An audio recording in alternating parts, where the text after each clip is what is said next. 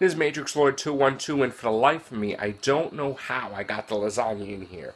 Because at first I thought I had to break them up, but then I only broke, broke one up, and I got it in there, so now I'm cooking lasagna.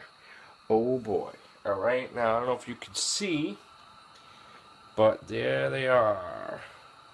All in there, the lasagna. Amazing, right? Alright, so I don't know how this is going to be. This is my first attempt, so we'll see. All right, I'm going to show you my progress as the day goes on. All right, here we take care. Bye for now. So far, so good. I'm trying to get them in here. We'll see what happens here.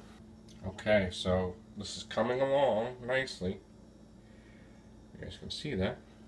Okay, so here's ricotta. One here still going. Okay, I'm sweating bullets because I just put finished the lasagna. Put it in. Let's check it out. All right, so there it is. We'll see what happens. Alright, we're almost at 15 minutes. We'll see how this comes. It's done! Woo! Take care, bye for now.